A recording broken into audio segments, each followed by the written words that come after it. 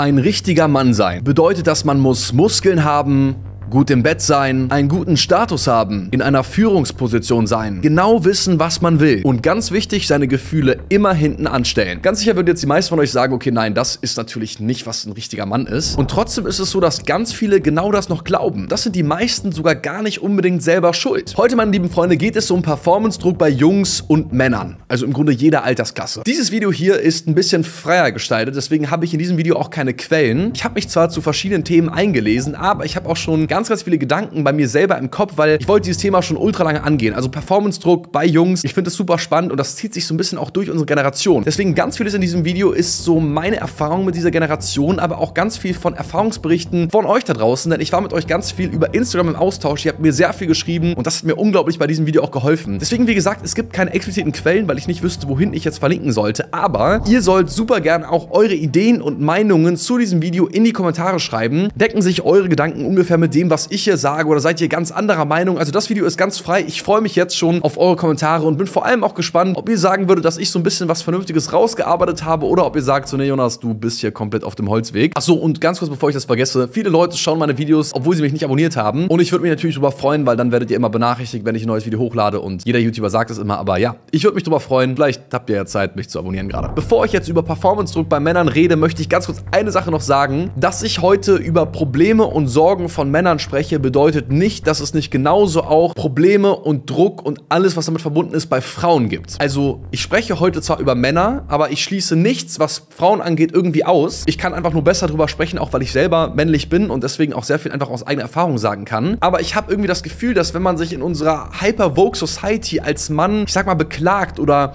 über Sorgen und Probleme spricht, dass es manchmal fast schon als frauenfeindlich aufgefasst wird, was natürlich überhaupt nicht so gemeint ist, sondern ich einfach nur versuche zu erklären, wo das Problem liegt. Deswegen bitte, liebe Frauen, fühlt euch nicht getriggert oder irgendwie, dass ich eure Probleme beiseite schiebe und sage, ey, Frauenprobleme gibt's gar nicht und äh, hier hört auf die Männerprobleme, sondern ich möchte einfach nur sagen, es gibt trotzdem auch Männerprobleme und ich glaube, das ist auch schon so ein bisschen Kern dieser Gedanken, die ich jetzt gleich habe, dass es mal auch ganz wichtig ist, dass man als Mann über diese Sorgen und Probleme spricht, weil das passiert auf jeden Fall viel zu selten. Aber ich würde sagen, wir stürzen uns direkt rein in Kapitel Nummer 1, was ist ein Mann? Also der biologische Unterschied zwischen Mann und Frau ist ja relativ einfach zu erklären. Ich weiß, das hört man in diesen Gender-Debatten von heute nicht so gern und das sollte man da auch als Argument fast gar nicht mehr bringen, aber einen biologischen Unterschied gibt es in den allermeisten Fällen trotzdem. Die Geschlechtschromosomen bei der Frau sind zwei X-Chromosomen, beim Mann ist es ein X- und ein Y-Chromosom. Das ist so auf genetischer Ebene der Unterschied. Das äußert sich dann später in verschiedenen unterschiedlichen Ausprägungen, aber, und das ist der Punkt, auf den ich eigentlich hinaus will, tatsächlich sind die Unterschiede zwischen Mann und Frau gar nicht mal so groß, wie man, glaube ich, in den letzten Jahrzehnten vor allem immer noch angenommen hat. Das sehen wir jetzt auch im Laufe des Videos. In vielen Punkten gleichen sich Männer und Frauen doch mehr als das, wie es so die ganzen patriarchischen Strukturen über die ganzen letzten Jahrhunderte so vermuten lassen würden. Ich habe jetzt ein kleines spannendes Experiment mit euch vor und das habe ich genauso auch schon auf Instagram gemacht. Das ist das Spannende. Ich werde euch jetzt gleich einen Satz sagen und ihr müsst einmal kurz verinnerlichen oder verbildlichen, was so die ersten Gedanken dazu sind, die euch dann in den Kopf schießen. Passt auf, der Satz ist folgender und ich gebe euch dann fünf Sekunden Zeit drüber nachzudenken. Das ist ein echter Mann. Denkt fünf Sekunden drüber nach. Okay, vielleicht habt ihr jetzt eigene Gedanken dazu im Kopf. Das Coole ist, ich habe wie gesagt jetzt auch schon Ergebnisse über Instagram bekommen, ganz, ganz viele Nachrichten von Männern und auch Frauen, also beider Geschlechter. Und ich habe die Top 5 Attribute, die ihr mit einem richtigen Mann im ersten Moment assoziiert habt, einmal aufgeführt und zwar der Reihenfolge nach, wie sie am meisten vorkamen. Und ich sage euch ganz ehrlich, die Ergebnisse haben mich im negativen Sinne überrascht. Ich fand es fast ein bisschen erschreckend, aber ich sage euch jetzt mal, was ich meine. Platz Nummer 1 war, ein echter Mann weiß, was er will. Platz Nummer 2 war, ein echter Mann kann sich und seine Frau verteidigen. Das war war hier also in so einer heterosexuellen Denkweise. Also dieses physische, dieses kräftig kann sich verteidigen. Platz 3 war, ein echter Mann gibt den Ton an, wenn es darauf ankommt. Also dieses Entschlossenheit oder diesen kühlen Kopf bewahren, wenn es wichtig ist. Platz 4 war, ein echter Mann ist erfolgreich im Berufsleben. Denkt mir die Sachen nicht aus. Das ist die Zusammenfassung der Sachen, die ihr geschrieben habt. Platz 5 war, ein echter Mann kann die Familie ernähren. Das waren die Sachen, die ihr meist geschrieben habt. Wie gesagt, das waren nicht nur Frauen, die das geschrieben haben, sondern genauso eben auch Männer. Man muss natürlich dazu sagen, das waren die Dinge, die einem als erstes in den Kopf kommen. Und ich habe euch auch extra gebeten, ehrlich zu sein. Also klar hätte man auch dann mogeln können. So war es hoffentlich das ungefilterte Ehrliche bei dem Gedanken, das ist ein echter Mann. Manche haben übrigens auch gedacht, dass damit das Optische gemeint ist. Da wurde am meisten geschrieben, groß, muskulös und muss Bart haben. Das waren so die optisch-visuellen Gedanken zu ein echter Mann. Mich hat das tatsächlich ziemlich nachdenklich gemacht, muss ich sagen. Weil es wurde kaum mal so Dinge geschrieben, wo ich gedacht hätte, das hätte man auch schreiben können. Wie zum Beispiel, wie gesagt, das sind jetzt Sachen, die jetzt kaum geschrieben wurden. Ein echter Mann ist liebevoll zu seinem Partner oder seiner Partnerin. Ein echter Mann hat guten Humor. Ein echter Mann spricht mit seinen Freunden über seine Gefühle. Ein echter Mann mag es nach dem Sex zu kuscheln. Ein echter Mann weint mal, wenn es ihm schlecht geht. Davon war quasi gar nicht die Rede, sondern es ging um dieses weiß, was er will, kann sich verteidigen, ist erfolgreich, kann die Familie nähern, all solche Sachen. Und wie gesagt, diese Tatsache hat mich was nachdenklich gemacht, weil ich mich gefragt habe, ob man, wenn man diesen Attributen nicht anspricht, dann kein richtiger Mann ist in unserer Gesellschaft. Man muss natürlich dazu sagen, dass uns dieses Idealbild Mann bereits seit Kindheitstagen indoktriniert wurde. So sind zumindest in den letzten Jahrzehnten die Superhelden alle muskulöse Männer gewesen, die immer genau wussten, was sie tun und gefeiert wurden und in den meisten Fällen sehr feminin gezeichnete Frauen aus irgendwelchen Situationen gerettet haben oder denen geholfen haben, wie auch immer. Ne, man hat hier also eine sehr klare Zeichnung gehabt. Ne, und dann, ich bin auch so mit Sätzen aufgewachsen wie Indianer kennen keinen Schmerz, wenn ich irgendwie hingefallen bin. Oder auch so Sachen wie sei ein Mann keine Memme. So, das sind so Sachen, die habe ich noch so im Kopf. Und das sind natürlich Dinge, die brennen sich in irgendeiner Form in den Kopf ein. Das heißt also, man hat also schon von Kindheitstagen an so eine Idee davon, als Junge, wenn man aufwächst, wie man später in der Gesellschaft irgendwie funktionieren sollte. Oft wird da gesagt, okay, aber das ist ja auch biologisch so. Es gibt ja einen Unterschied. Jungs oder Männer sind ja auch Testosteron geladen und natürlich müssen die dann kräftiger sein oder mehr aushalten, robuster sein. Tatsächlich ist aber das Allermeiste eigentlich gesellschaftliche Sozialisation. Studien zufolge ist es nämlich zum Beispiel so, dass Vertreter traditioneller Männlichkeitsnormen statistisch seltener zum Arzt oder zu Psychotherapeuten gehen. Das liegt daran, dass viele Männer die Unterstützung von anderen vermeiden, weil ihr Status als starker Mensch, der alles von alleine meistern kann, zentral für das eigene Selbstbild ist. Häufig nehmen andere Männer, die sich als richtige Männer wahrnehmen wollen, also auch keine Hilfe von anderen in Anspruch, weil sie eben nicht als Schwächling dastehen wollen, weil eben aber auch viele Männer genauso sozialisiert wurden oder immer noch werden. Zugegebenermaßen, Rollenbilder brechen immer mehr auf, was auch gut ist, aber gerade unsere Väter und unsere Großväter sind eben genauso herangewachsen. Alleine ja auch der Fakt, dass Männer in den Krieg geschickt wurden, Frauen und Kinder sind zurückgeblieben, das macht natürlich auch was mit den Kindern, die da heranwachsen. Das ist jetzt nur ein Beispiel von ganz vielen, die so ein bisschen verbeispielt, wie ja in diesen alten patriarchalen Strukturen ganz viel eben im Kopf mit Jungs und Männern passiert, was sich aber eben bis heute auch noch auf uns auswirkt. Lustigerweise habe ich jetzt bei der Recherche rausgefunden, dass im Grunde das, was ich bei Instagram gemacht habe, genauso auch schon in einer Studie wissenschaftlich durchgeführt wurde. Und zwar wurden da 463 Männer dazu befragt, was einen Mann ausmacht. Also wann ein Mann ein Mann ist. Und wie gesagt, das ist jetzt das Selbstbild der Männer. Hier spielt nicht ein, was Frauen darüber denken. Ich habe es eben schon erwähnt, dass eine Studie, die 2020 veröffentlicht wurde, also nicht irgendwie vor 30, 40 Jahren. 55 Prozent, wann ein Mann ein Mann ist, ist emotionale Zähheit. Das ist das, was ich meine. Man spricht nicht über Gefühle, man kommt da durch. Diese Gedanken Versorgung für die Familie, also für die Familie da sein. Vermeidung von Weiblichkeit ist auch krass irgendwie. Und immerhin Platz 4 ein Gentleman sein. Das ist immerhin besser, so wie meine Instagram-Umfrage abgeschnitten hat. Und dann kommt auch schon sowas wie Arbeit. Also wir sehen hier dieses Bild, was Männer davon haben, was ein Mann ausmacht. Das ist schon noch sehr problematisch, meiner Meinung nach. Wir reden hier von nichts, was vor 20, 30 Jahren ein Problem war. Und deswegen glaube ich halt auch, dass es so wichtig ist, heutzutage darüber zu sprechen. Wie gesagt, heutzutage brechen mehr und mehr Geschlechterrollen und auch Stereotypen auf, was ich sehr gut finde. Aber es gibt trotzdem gleichzeitig auch immer noch viele Momente, in denen genau solche Stereotypen manifestiert werden. Zum Beispiel auf Social Media oder eben zum Beispiel auch in Reality-Shows, wie ich das in einem meiner letzten Videos über Reality-Shows, schaut euch gerne mal an, gesagt habe. Ein Kapitel, was ich super spannend finde, dreht sich um die Sexualität, weil Sexualität ist im Alltag Alltag auch immer wieder entscheidend oder hat auch viel mit Identifikation zu tun. Deswegen Kapitel Nummer 2, sexuelle Performance. Der Grund, warum ich dieses Video hier überhaupt drehe, ist eine noch viel ältere Umfrage von mir, die ist fast schon, würde sagen, fast ein Jahr alt und die fand ich damals super spannend. Da habe ich nämlich bei Instagram gefragt und da haben über 70.000 Leute daran teilgenommen. Ich habe gefragt, ob sich Jungs schon mal in einem sexuellen Kontext unter Druck gesetzt gefühlt haben. Und damit meine ich jetzt nicht so ein bisschen Angst vor dem ersten Mal, sondern grundsätzlich wirklich so sexueller Druck, ob das Jungs schon mal erlebt haben. Und ich habe gedacht, okay, vielleicht so 10%, 20% so. Weil so, wenn man mit Jungs einfach spricht so, Wie viele Jungs sagen da, dass sie sich irgendwie mal unter Druck gesetzt gefühlt haben, dass irgendwie die meisten sagen so, ja, ey, ne, ich mach das, ich mach das, ich mach das. Wenn man anonym bei Instagram abstimmen kann, kommt da was anderes bei rum und wie man hier sieht, dem Ergebnis, 53% der Jungs haben ja gesagt, dass sie sich schon mal sexuell unter Druck gesetzt gefühlt haben. Und wie gesagt, ich meine nicht diese kleine Angst vor dem ersten Mal oder ein bisschen Angst. Und ich habe dann mal nachgefragt, weil mich das interessiert hat, was damit genau gemeint ist. Und ich habe hier spannende Antworten bekommen. Hier wurde geantwortet, du musst die und die Vögeln, damit du cool bist und so und so viel Sex haben, um ein Mann zu sein. Wisst ihr, genau das meine ich. Und das denken Jungs von heute. Man fühlt sich generell unter Druck gesetzt, wenn man nicht wirklich lang durchhält. Das ist beim Sex gemeint. Habt das Gefühl, als Junge muss man im Bett immer perfekt sein, wenn nicht, wird man ausgegrenzt. Auch das ist sehr spannend. Im Übrigen, alle Sachen, die ich hier reinpacke, sind Sachen, die ganz, ganz oft geschrieben wurden. Also ich nehme mir keine Sachen, die nur einmalig geschrieben wurden, sondern das sind wieder die Sachen, die so die Situation am besten widerspiegeln. Dann hat hier lustigerweise auch mal ein Mädchen was geschrieben. Und zwar hat sie geschrieben, nein, aber für mich muss ein Mann generell stark, hart und ein Beschützer sein. Das ist halt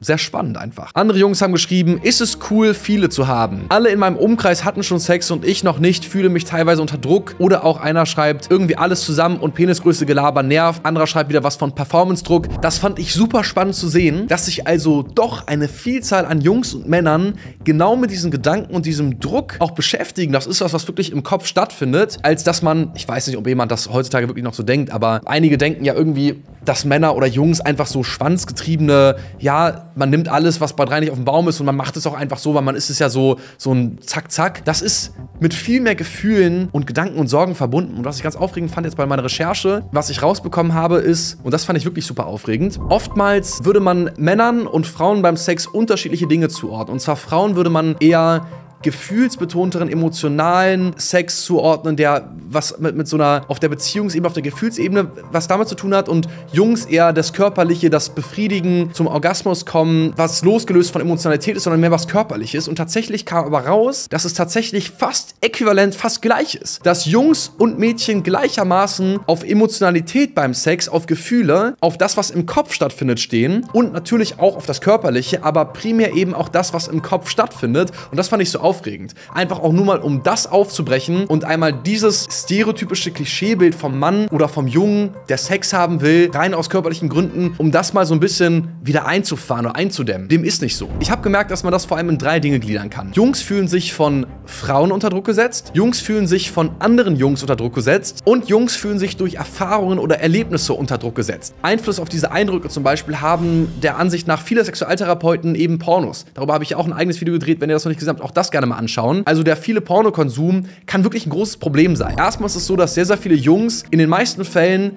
ihren ersten Porno konsumieren, bevor sie ihr erstes Mal haben. Der Statistik nach sogar meistens drei, vier, fünf Jahre vor ihrem ersten Mal. Das heißt also, man wächst mit einem Bild von Sex auf, das überhaupt nicht der Realität entspricht, sodass der Druck vor dem ersten Mal immens groß ist, weil man das Gefühl hat, man muss genauso abliefern. Und wie ich das in meinem Video über Pornos schon gesagt habe, der Körpervergleich, den man vielleicht hat mit den Pornodarstellern, den man gesehen hat, und auch dieses Thema dauerhafte Erektion haben, ewig lang beim Sex durchhalten zu können, ganz viele Stellungen auch können, genau wissen, wie Oralsex funktioniert und so weiter und so fort. Also tausend Gedanken, die sich ein Junge vor seinem ersten Mal macht und gleichzeitig auch eben diese Ängste. Und das Problem ist ja so ein bisschen bei Jungs, bei Frauen und Mädchen gibt es da auch Probleme, also die auch ähnlich sein können mit Verkrampfungen oder Trockenheit und so. Aber bei Jungs ist ja so ein bisschen das Problem, um penetrativen Sex zu haben, brauchst du eine gewisse Erektion so. Und wenn du zu aufgeregt bist, dann kriegst du diese Erektion nicht hin und du kannst keinen penetrativen Sex haben. Wie gesagt, es gibt ja auch andere Formen von Sex, aber das ist so ein bisschen ein Teufelskreis, der bei vielen Jungs oder Männern im Kopf passieren kann. Das Problem ist, wenn du aufgeregt bist, weil du Angst hast, du könntest keine Erektion kriegen, passiert automatisch nichts anderes als, das ist dann unser Nervensystem, was reagiert in dem Moment. Bei Aufregungen passiert es, dass sich das Blut anders verlagert. Das Blut schießt entweder in deinen Kopf, weil halt viel Blut in deinem Kopf sein muss, um eben in einer Situation, das ist eben biologisch bedingt, weil man in einer Situation dann eben entsprechend auf Reiz reagieren muss. Das Gehirn muss gut durchblutet sein, damit es eben reagieren kann. Oder zum Teil werden auch die Beine und Füße sehr stark durchblutet, damit man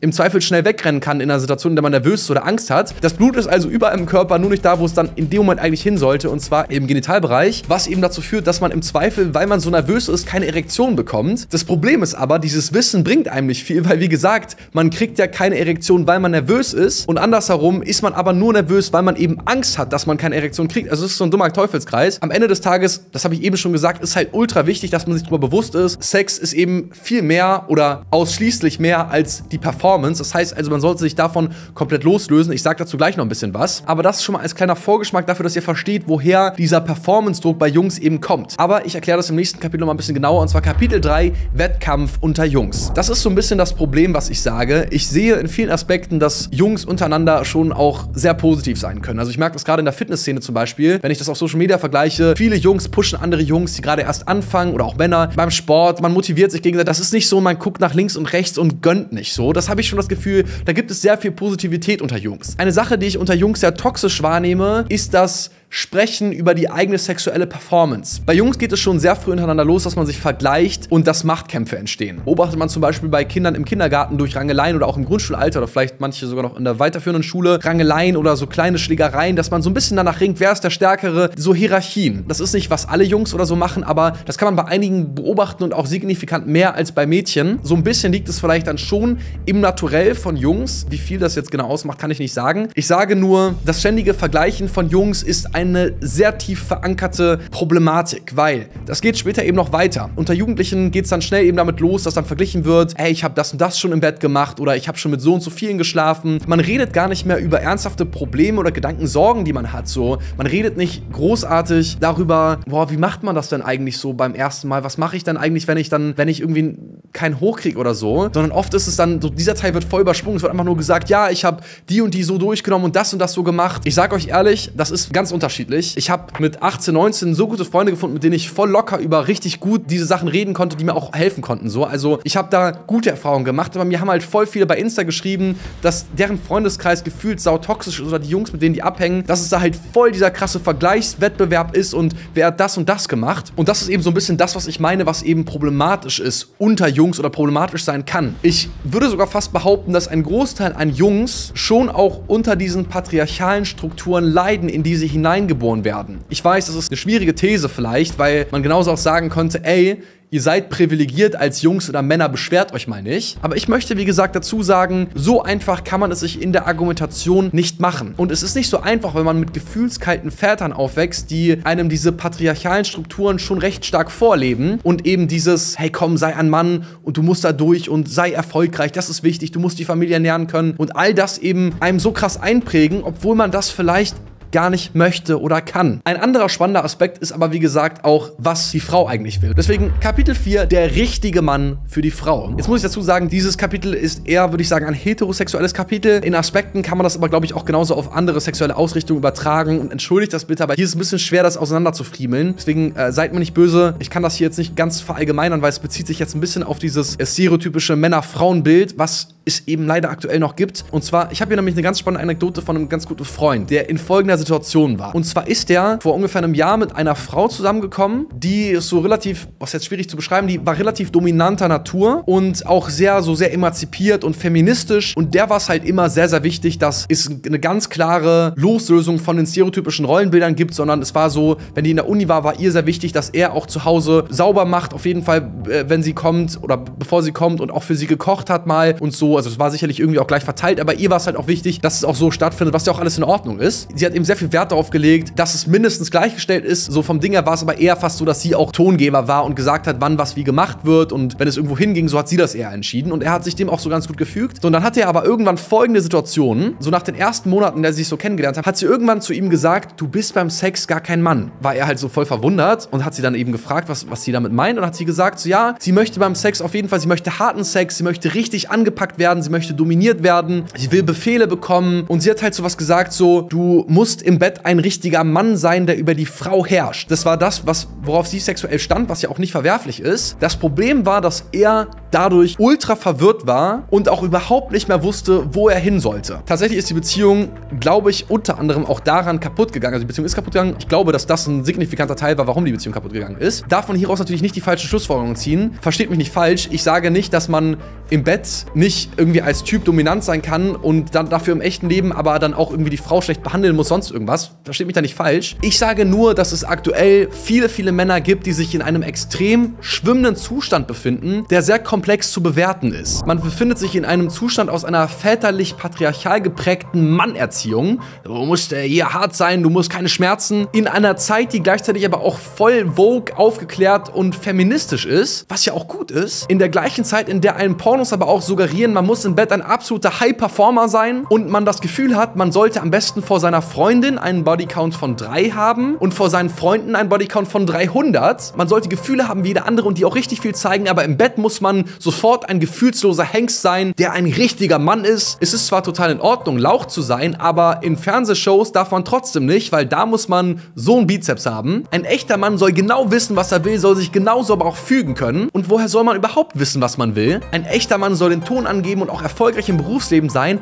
Aber was, wenn man das alles gar nicht will? Ganz wichtig hier nochmal an dieser Stelle, um das zu betonen. Ich sehe hier definitiv eine schwierige Situation für den Mann, was aber nicht heißt, dass Frauen, wie gesagt, nicht in einer genauso schweren Situation sind und das total wichtig ist, dass gerade die Gleichstellung der Geschlechter, dass das so vorangeht und dass das für gekämpft wird. Und ich sehe Feminismus auch als eine ganz wichtige Bewegung. Also versteht mich da nicht falsch. Ich führe hier eben nur gleichzeitig auch auf, dass es auch für den Mann in dieser Zeit nicht immer einfach ist. Kapitel 5, ein bisschen Mut. Das Gute ist, ich habe das eingangs schon erwähnt, ich habe das Gefühl, Rollenbilder brechen immer mehr auf. Und ich habe auch das Gefühl, man kann immer individueller und freier sein. Noch viel mehr, als man das früher sein konnte. Zum Thema sexuelle Performance kann ich sagen, es ist Ultra-Kopfsache und ich verspreche euch, im echten Leben, die Angst ist in den allermeisten Fällen gar nicht angebracht. Also, euer Gegenüber hat überhaupt keine Erwartungen an euch. Niemand erwartet von euch, dass ihr ultra durchzieht, so und so ausseht, das und das alles könnt. Das ist gar kein Ding. In den meisten Fällen hat die andere Person, mit der ihr Sex habt, wahrscheinlich genauso auch Angst oder Gedanken. Also geht das Ganze langsam an, sprecht einfach, seht es auch mal mit Humor und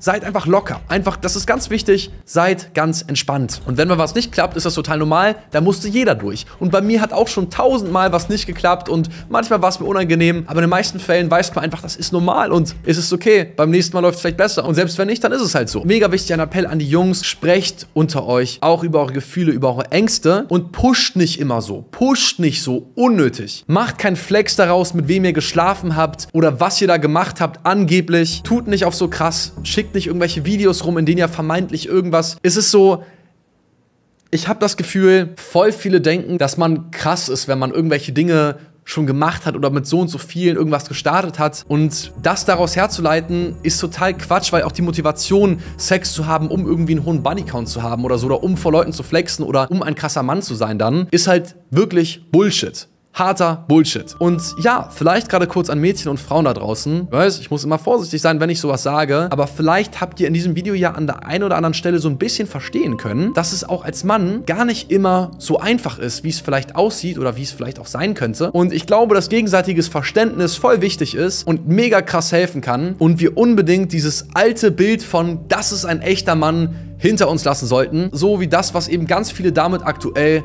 noch verbinden. Ich bin gespannt, was ihr zu diesem Video sagt. Ich freue mich sehr auf euer Feedback. Das war's von mir. Euch noch einen wunderbaren Tag und bis ganz bald wieder. Bis dann und ciao.